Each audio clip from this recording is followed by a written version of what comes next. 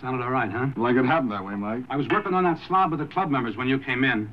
I don't think you can save much of that. It's too choppy, you know? Well, maybe the first two pieces will be enough.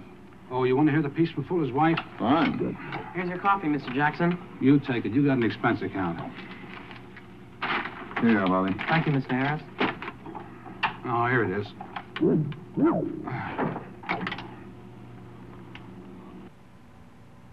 The one thing that makes it easier for the boys and myself is the knowledge that all of you share some of our grief. As long as there are friends and listeners who remember the happiness and joy he brought into their lives, he isn't really dead. That's a wonderful kind of immortality for him. It'll play. Like the seventh game of the World Series. Say, did you know I used to be Fuller's engineer? No. Two years. what a liberal education that was. How was Eddie Brand? Heart-rending. Eddie was robbing him deaf, dumb, and blind. He was on the payroll of every song plugger in town. Every time you heard a tune on Fuller's program, you could chalk up another 25 bucks in Eddie's pocket. Of course, everybody in the show was doing that job. It works like this. It's a hot day, so it's natural to say that you've uh, stuck your head in the refrigerator. But if you say refrigerator or icebox, it's just a piece of copy. But if you mention the brand name, it's a case of scotch. Fuller was on the grab, too. The difference was he stole big. I uh, see you got to know our Carol. You heard the tapes, huh? I heard it. It was in a box without a label on it. I don't think there's anything in it you can use on the air. Hi. Blood plasma stories, Mike. Yeah, there's just miscellaneous stuff, dogs, home life, and so on. Anything happened while I was out? Carlton's Hello. secretary called. Just a minute. He wants to see you at 9 o'clock in his office tomorrow morning. It's for you, Joe. I had your calls transferred. Hello? Mr. Harris, please. Speaking. This is Paul Beasley of Worcester. Yes, Mr. Beasley. I'm in the building up here on the 10th floor visiting Mr. Cutler. I can be down in your office in a couple of minutes. Well, that's fine, Mr. Beasley. Just why would you want to do that? This is Joe Harris, isn't it? Yes, and this is Paul Beasley, isn't it? That's. Of Worcester? Correct. Just a minute. Ginny, do I know a Paul Beasley? Beasley? Uh, Mr. Beasley, would you mind telling me just what it is you want to talk to me about? I own station WGHP in Worcester. I don't want to sound rude, Mr. Beasley, but so what? You are Joe Harris, aren't you? Jenny, will you please tell this man that I'm Joe Harris? He is Joe Harris. Convinced? Completely. Good. I didn't Now, will you please have someone at your end vouch for the fact that you're Paul Beasley? Oh, that's perfectly ridiculous. Right. Mr. Harris, I didn't doubt you. That was Paul Beasley. Of Worcester. Mike, why don't you start isolating the blood bank tapes? I'll run in on you later. I think I'll go down to the restaurant and get something to eat. I'm starving to death.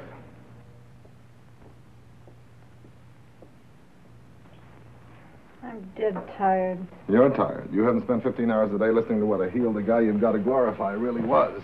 The feet of clay, huh? Right up to the knees, at least. You mind if I conk off for a while? Conk.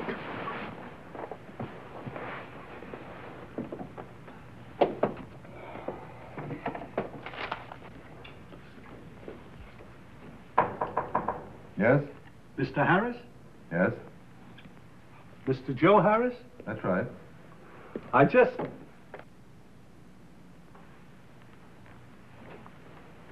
I just spoke to you on the phone from Mr. Cutler's office, the regional representative for the New England area. Paul.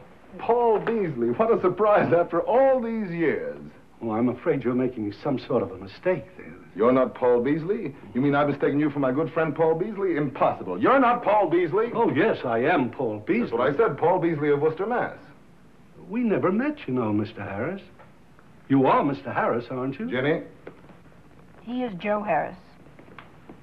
And my secretary. Oh. How do you do? How do you do? Excuse me. Well, Mr. Beasley, You're probably wondering what I'm doing here. as a matter of fact, what are you doing here, Paul? Didn't you get the ten grand I left in the hollow tree? Oh, you're joking, Mr. Harris. I'm joking, Mr. Beasley. I thought so. It is true that you're doing the Herb Fuller Memorial Show on Friday night. Right. I gave Herbert his first job in radio.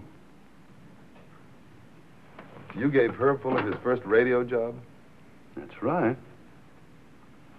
Well, you know, Mr. Beasley, I've been talking to a lot of people that knew Herb Fuller very well. Uh, sit down. You might help fill in some of the gaps. Oh, not so fast, Mr. Harris. I'm a businessman. You know, I, I might have something that you want. I don't expect to make you a present of it. You want a little dough, is that it? Of course I don't want any money. I'm afraid you misunderstand me. I'm trying not to. Now, just what do you want? Our call letters, WGHP, stand for something. Stand for something very close to our hearts. Mrs. Beasley's and mine, I mean. They stand for, with God's help, peace. WGHP. And I just wondered if you'd try to get those call letters into your broadcast and explain them. It might do a lot of good. I'll try. Now, when did you first meet Herb Fuller? Ooh, in uh, 1933. He came in to audition for one of our programs. It was a sort of an amateur hour, but it had an extra added ingredient. The contestant not only had to perform, but he had to deliver a two-minute sermon. Now, our listeners phoned in their votes, and the content of the sermon counted as much as the talent of the performer. Herbert was in the Navy then, and he came down from Boston one night to audition for the program. What did he do? He sang. How did he make out? He won first prize. But it was the sermon that won the contest for him. It was good? We got over 500 requests for it. Do you remember what it was like? That's what decided me about this trip. When I read of Herbert's death, I remembered that sermon of his, and I thought it might be of some use to you. It might indeed. The best sermon I know has no words, none at all. I hear it at night when my ship is out at sea, out under the lonely stars, separated from the world by a limitless void of water.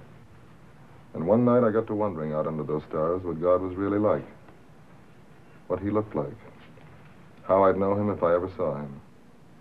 And the answer was so simple, my friends, so simple.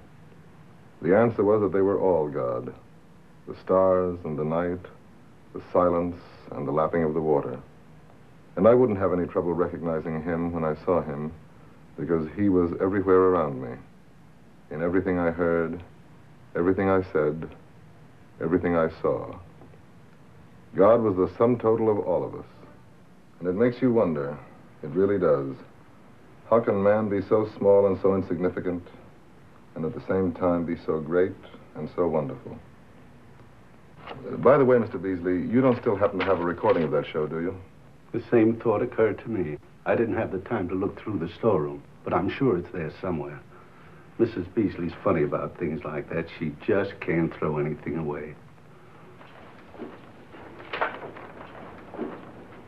You know, Mr. Harris, in a great many ways, Herbert was not a very nice man. In a great many ways, he was a very bad man. How do you mean? Mr. Harris, I realize in the eyes of a lot of people I'm faintly ridiculous. I can't help that. I don't think I'm ridiculous. My friends don't think so. Mrs. Beasley doesn't think so.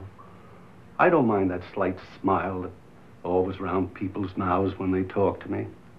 Truly, I don't. I noticed it on you, Mr. Harris. I don't mind.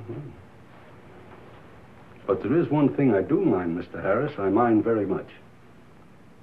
I don't like to be taken advantage of. Herbert took advantage of me. How? Hmm. After he won that amateur contest, he was the talk of Worcester. It sounds silly, doesn't it? The talk of Worcester. Anyway, I hired him. Six months later, when he got out of the Navy, I gave him a program of two hours length in the morning of his own. And right from the start, he began including a little sermon in his broadcast every day. Of course, it's simple to use hindsight now and realize that he figured if that's what they wanted, he could certainly give it to them. He had found a good thing, and he was auditioning it in Worcester. An out-of-town tryout, huh? Trying it on the dog, Mr. Harris. Mr. Beasley, I don't find you the least bit ridiculous. People don't after a while. Anyway, Herbert was very successful. Oh, we had more sponsors on his program than all the other programs on the station.